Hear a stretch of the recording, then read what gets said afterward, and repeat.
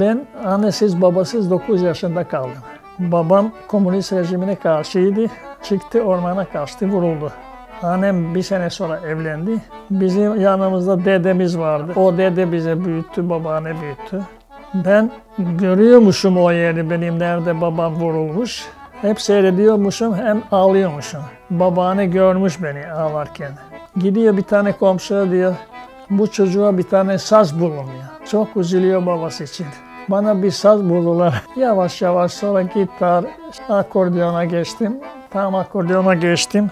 Askerliğimi bitirdim. Türkiye'ye geldik. Karadağ'dan geldim. 1960 senesinde çok çalıştım. Gündüz fabrika, gece düğünler. Hiç durmadan çalıştık. Allah'a şükür bir hayat kurduk. Ama ilk günler zor idi.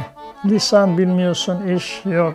Ama iyi ki geldik. Zaten Yugoslavya o, o parçalandı. Orada hayat kalmadı. Bizim orada Avrupa'da birinci savaş, ikinci savaş bizim yaşlılar çok çekmişler. Onlar da istediler bizi Türkiye'de gelelim. Ee, ve onları kırmadık, geldik. Allah'a şükür baştan biraz zorluk çektik ama insan zor çekmeden bir şey olmuyor. Hai uno majka sina ženi pa se vesele. Orada durumumuz çok güzeldi. Gusine'de yaşıyorduk. Çok güzel bir yer.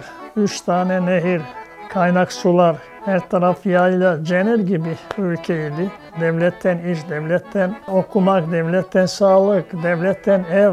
Millet çiftliği bırakardı, devlet işine girerdi. Orada altı tane federe var. Slovenya, Hırvatistan, Makedonya, Bosna Hersek, Karadağ. Tito öldükten sonra onlar parçalandı. Tito iyi bir lideriydi böyle. Atatürk gibi adamıydı yani. Memleketi kurtardı. Birlik, beraberlik yaptı. Önemli olan bu.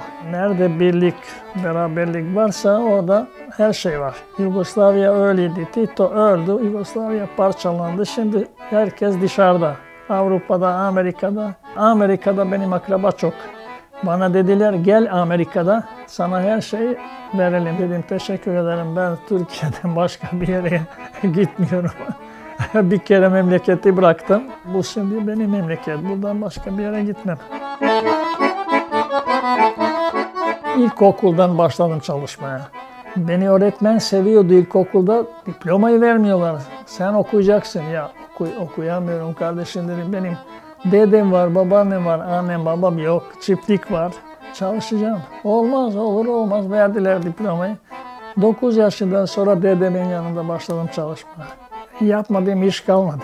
Orada biraz düzeldik, biraz büyüdük.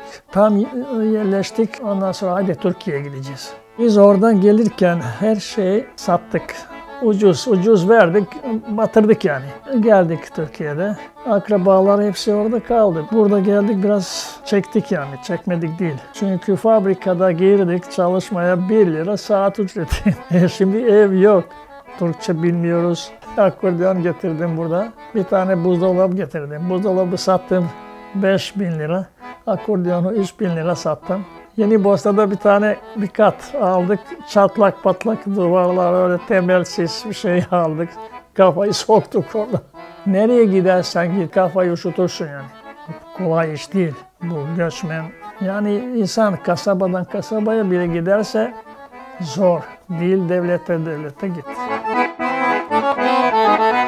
82 yaşında. Benim tecrübeme göre dürüstlük en iyi. Dürüst çalışmayanlar çok oldu. Çok kazandılar ama kaybettiler. Ama ben Allah'a şükür akordiyonla bu on parmakla gene yaşıyorum, çocuklar da yaşıyor. Ben bu müziğin çok faydasını gördüm ve bunu çok seviyorum yani. Benim hayatım müzik.